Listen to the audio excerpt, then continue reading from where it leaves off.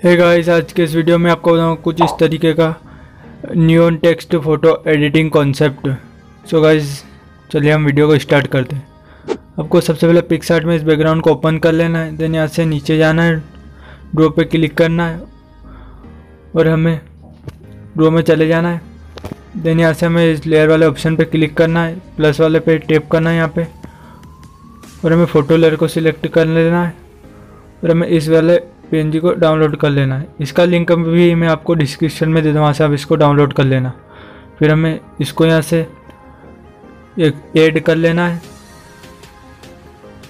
Then फिर हमें erase वाले ऑप्शन पे क्लिक करना है।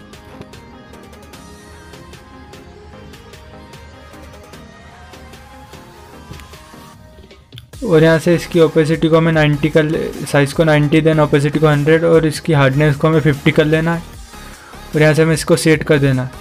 फिर हमें इसको जूम करके कुछ इस तरीके से इसको इरेज कर लेना है।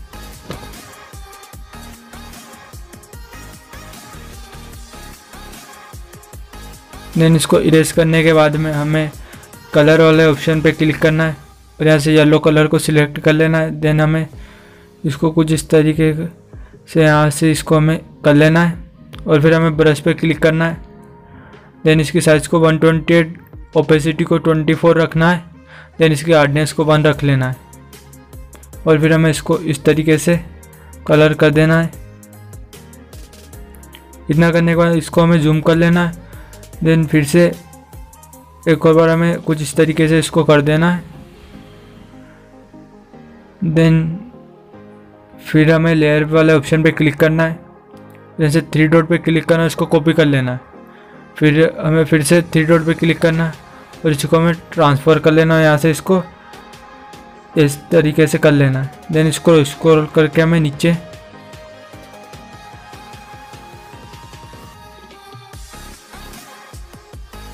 यहाँ पे कुछ इस तरीके से हमें इसको सेट कर देना है।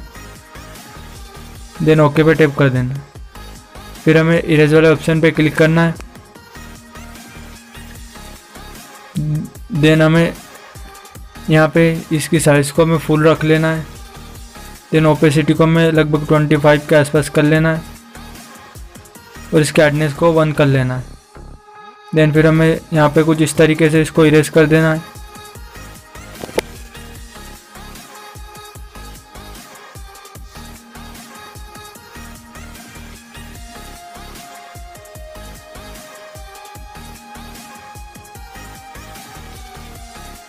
इतना करने के बाद में हमें ओके पर क्लिक कर देना है।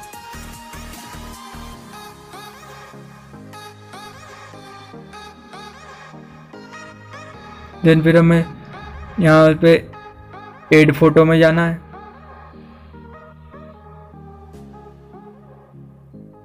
और यहाँ से हमें अपने बैकग्राउंड जो हम फ़ोटो एड करना चाहते हैं, उसको इसमें को में हम मैंने पहले से कट किया हुआ है। अगर आप भी इस तरीके से कट करना चाहते हो तो इस वीडियो को आप देख लेना। लिंक इन डिस्क्रिप्शन देन इसको कुछ इस तरीके से हमें सेट कर लेना है।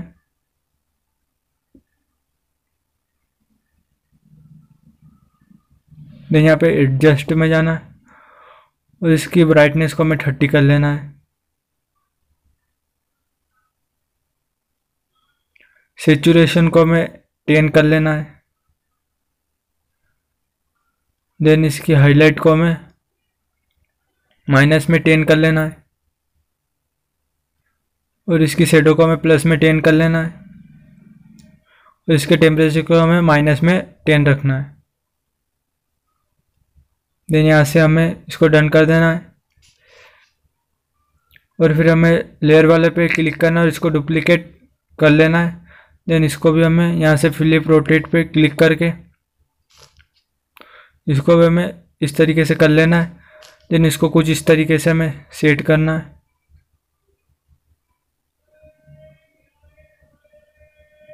देन फिर हमें इरेज वाले ऑप्शन पे क्लिक करना है। और यहाँ से हमें इसकी साइज़ को फुल रख लेना है। देन ओपेसिटी को हमें लगभग 25 के आसपास कर लेना है।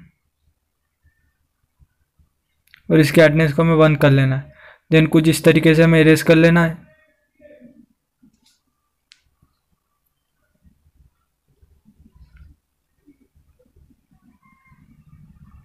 देन यहाँ से हमें इसको डन कर लेना है।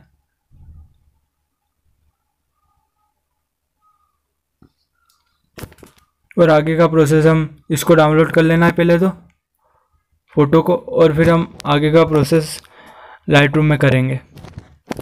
सो आपको इस फ़ोटो को लाइट रूम में ऐड कर लेना है। और यहाँ से अपनी फ़ोटो को ओपन कर लेना है। अब हम इसका कलर ग्रेडिंग करेंगे। सो मैं यहाँ पे इस वाले ऑप्शन पे क्लिक करना है। इसके एक्सप्रोस को थोड़ा सा बढ़ा देना है।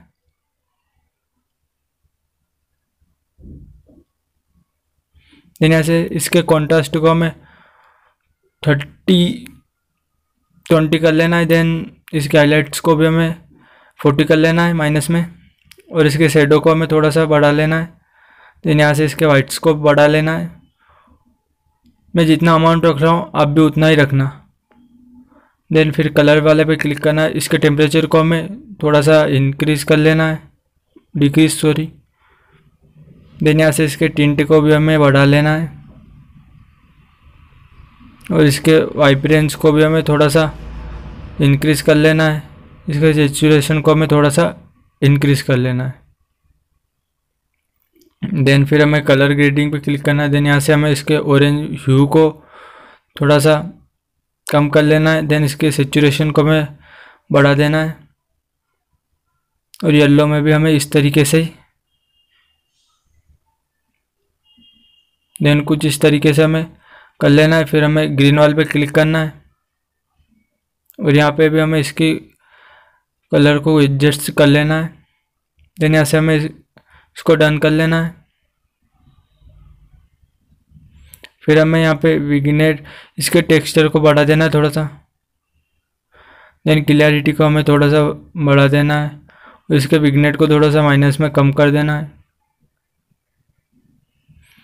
देन इसके हाइलाइट्स को भी, इसके ग्रेन को थोड़ा सा बढ़ा लेना है। देन इसके हाईलाइट्स को भी थोड़ा सा बढ़ा देना है। देन फिर हमें इसके शार्पनिंग को थोड़ा सा इंक्रीज़ कर देना है। उसके नॉइस रिड्यूशन को भी हमें थोड़ा सा इंक्रीज़ कर लेना है। देन इसके कलर नॉइस को भी हमें थोड़ा सा इंक्रीज़ कर लेना है। देन आपका फ़ोटो कुछ इस तरीके से लुक में आ जाए।